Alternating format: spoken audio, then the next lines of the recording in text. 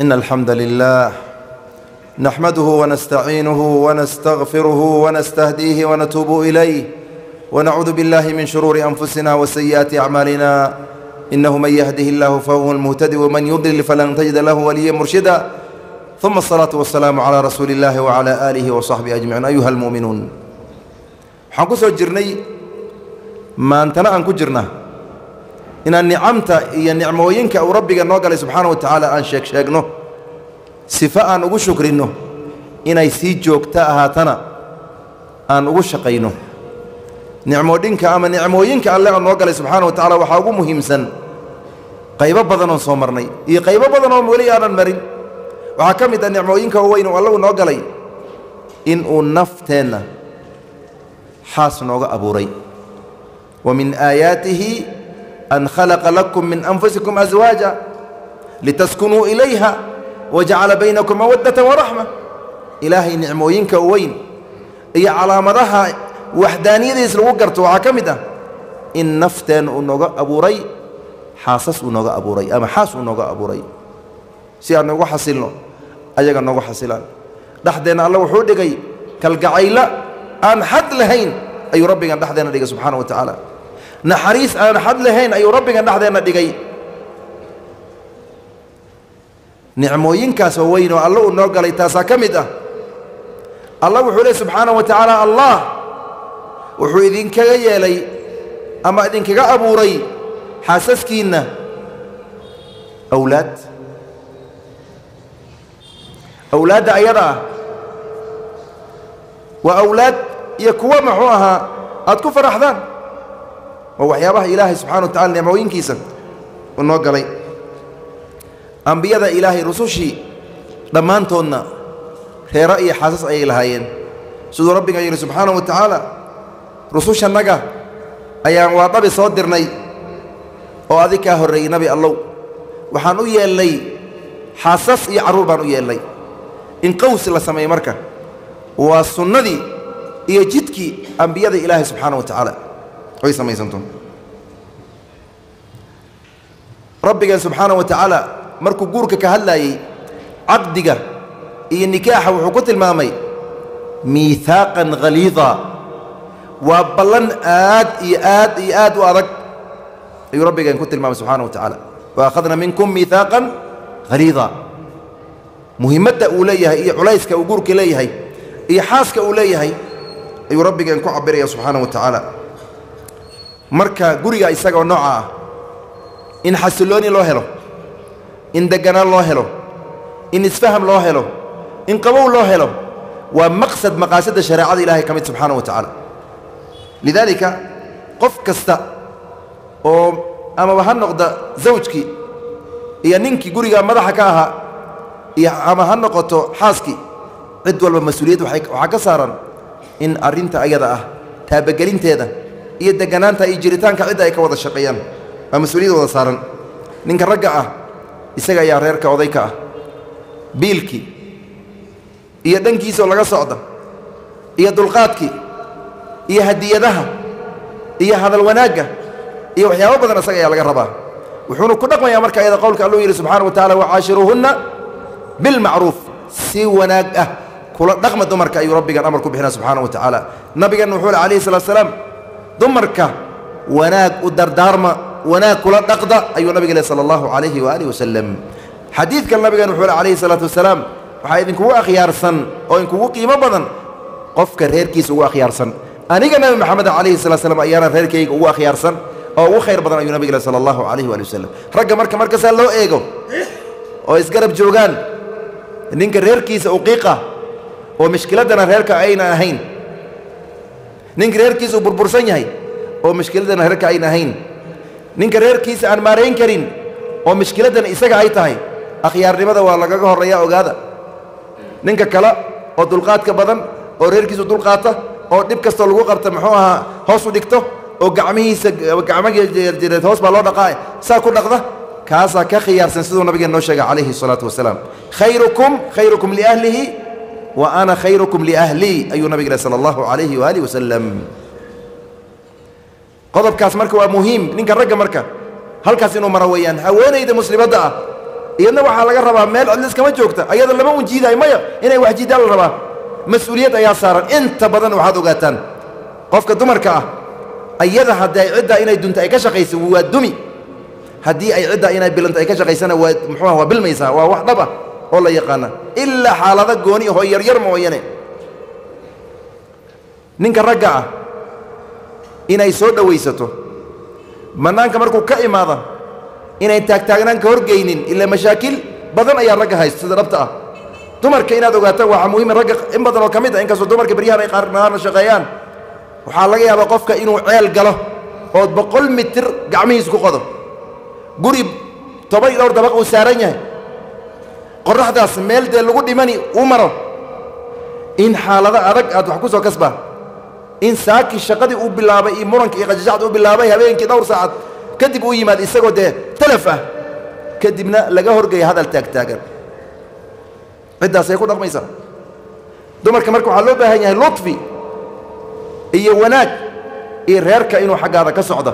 Nabigeenna wuxuu ku tilmaamay calayhi الsalaatu wasalaam idaa nadara ilayha saratu markuu xaggeeda eego indho taagtaagan iyo muran iyo qajajac ma ahane dabacsanaan iyo wanaag ayuu ka arkaa. Markaasu markuu xaggeeda eego ayuu muxuu ahaa ku farxaa carruurtiioo habaysan iyadiioo habaysan gurigiioo habaysan buuq uusan jirin wanaag uu jira kadibna wuu farxayaa.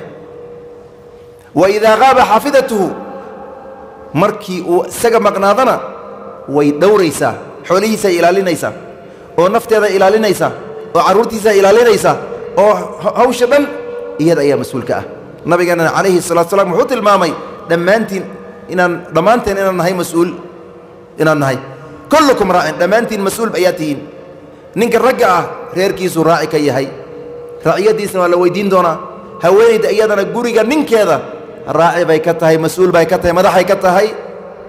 Raciyaddeeda waa la weyddiin doonaa ayuu nabig leh sala allahu calayhi waali wasalam marka inaan reerka la ilaaliyo ninka iyo dumarkaba ragga iyo dumarkaba ay wada ilaaliyaan waa mas'uuliyad u wada taalla dadka dhammaan cid ay gooni u saaranta lama arko. Haba kalo culsaato oo ninka ragga ah maadaama isaga caqdigii uu gacantiisa ku jira oo ciddaas inuu waan furay yidhahda amaba qaadin la geeyo oo la fasakha mooyane cidda ayna muxuu ahaa ay burburaynin. Gooniha u saarnaata mas'uuliyad eeri ah laakiin labada qofba mas'uuliyad waa laga rabaa. Waxaa ku soo mara mararka qaar. Ninkula muxuu ahaa halkaasaa tori liiga qabtay. Fur ifur halkaasaa liiga qabtay. Halkaas. Waa dhacdaa wayna dhacaysaa. Arrimahaas marka sax maahan diiniyan iyo dhaqan ahaan saxu maahan reeraha waxyaaba burburiya inay ka mid tahay. Ikhwaan alkiraam guryaha waa in tala lagu dhaqo. Wa amrum shuuraa baynahum digtaateeriyad iyo anaa iri iyo ninkan muxuu sheegi iyo haweenayda maxay sheegaysaa iyo sheekadaa ma anfacayso guryaha tala iyo ismaqal isu dhimrin meel fiicanoo oo toosan. Wax laiska tusa. Haddii xaaladda ayada laisla qaban waayo ama laisla fahmi waayo dib loo dhigo oo mar kale laga fadhiisto ayay u baahanaysaa waa dawladoo kale. Dawladaha is soomad arkin. Maanta la fadhiisanaya waa la kala tegi. Waxaa la leeay bil kadib soo laabanna. Soomad arkin. Qabaa'ilka dagaalama waa saas oo kale. Guryahan waa saas oo kale.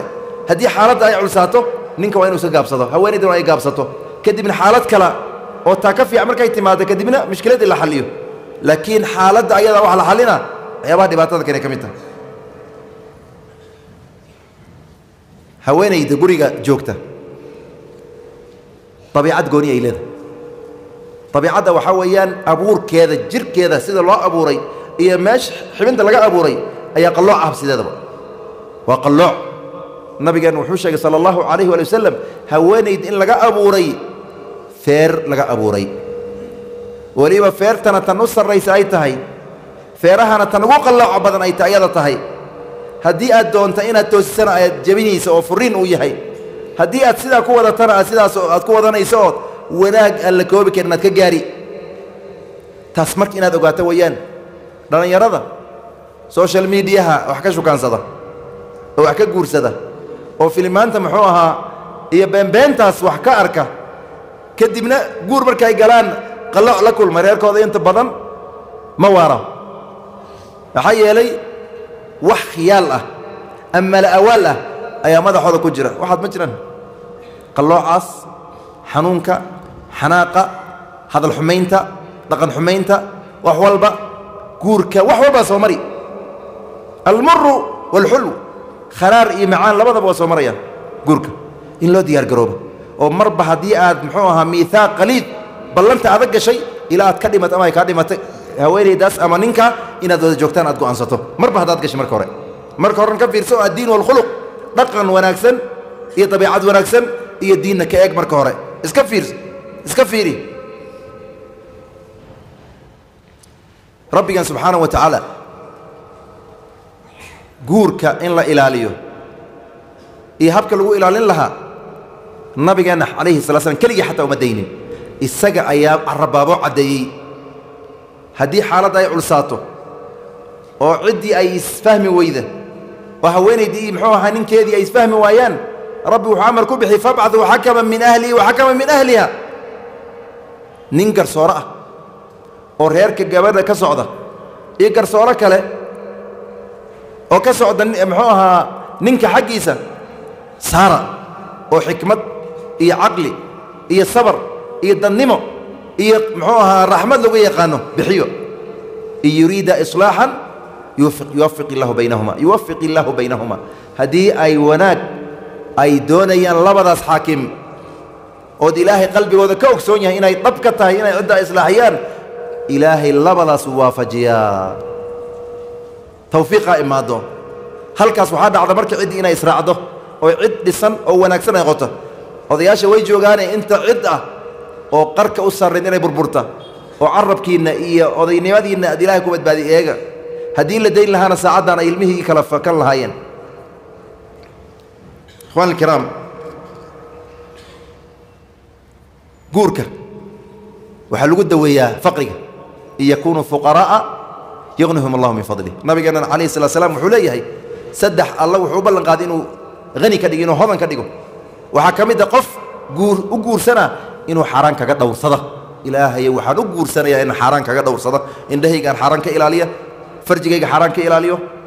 Gacantayda xaaraan ka ilaaliyo? Lugahayga inaan xaaraan socdo ka ilaaliyo? Ilaahu dartaasaan u guursanaa. Oona ka dhaba qofkii yidhaahdo darta arrintaa dartaasaan u guursanaa yidhaahdo inuu ilaahay hodan ka dhigo waa ballanqaad.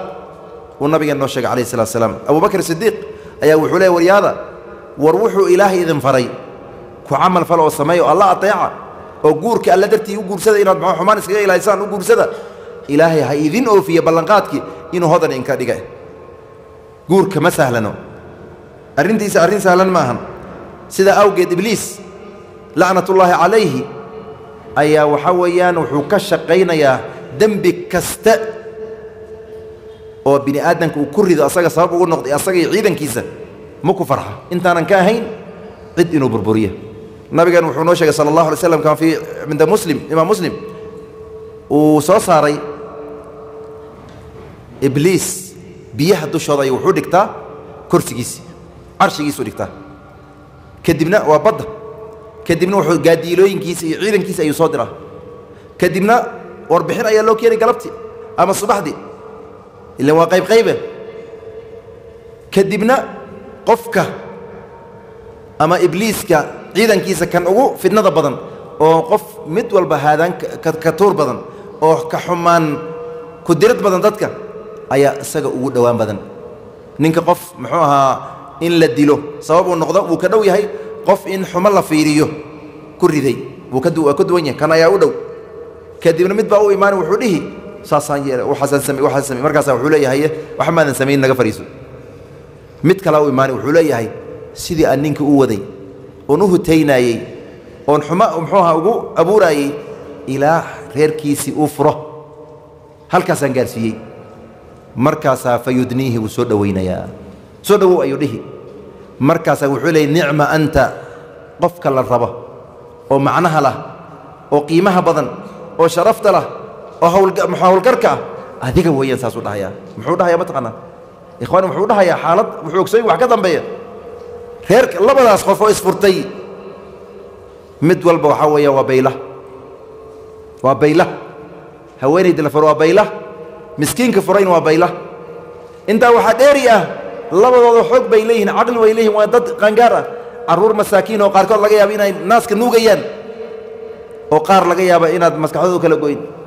Oo nafaqo u baahan oo tarbiye u baahan oo tacliin u baahan oo in waddada xaqa lagu dawo u baahan la aadiyo ayaa halkaas ku baaba'ayaan.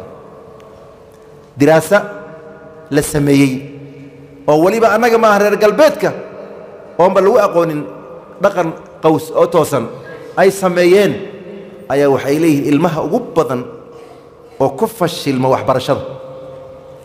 Oo waxbarashada nus ugu taga. Oo daroogada gala. Oo derbijiifka noqda. Oo imtixaanku ku dhaca. Waa ilmaha ka soo jeeda reeraha burburay taana kole idinka lama qarsoona. Waadna garan kartaan. Burburka marka annaga kanfuriinka waxaa ka daran geerida iyo ishalaagga annaga ishalaagayn iyo baabi'intaa ka daran oo reeraha ku burburayaan oo waxaa weeyaan lagu agoontoobay oo lagu baabi'i. Ikhwaan alkiraam marka ibliis yaanan ka farxinayni reeraheen aan ilaashanno oon isku toosnaanno oo wax alla wixii keenaa reerkeennu burbura aan iska ilaalina asbaabta marka nooga kaalmaynaysa waxaa ka mid ah in laisu sabro abudardaa wuxuu leeyahay xaaskiisa wuxuu kula dardaarmayaa uma dardooyi haddii aad caro iga dareento ideji haddii aan caro kaa dareemana aan ku dejiyo. Haddii ay arrintaa dhici weyday soo maahan. Weligeen islama noolaan karna. Mabaan wada noolanaynin reerkeen uu burburaya. Qodobka labaad. Qof walba xaquu leh ha la siiyo.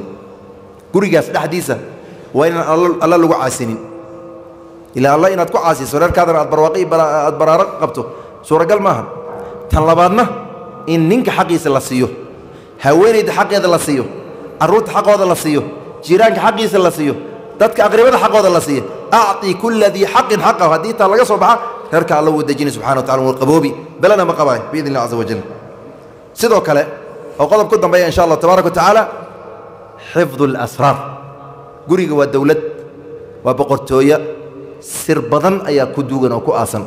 Haweenayda waa inay sirteeda ilaashato. Ninka raggana waa inuu sirtiisa ilaashto.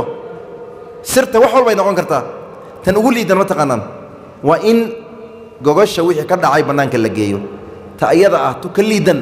Ma lahan lidaalika nabigan wuxuu leh sala allahu calayhi waali wasalam dadka kan ugu sharta badan maalinta qiyaamo waa nin xaaskiisa ay wax dhex maraan habeenkii.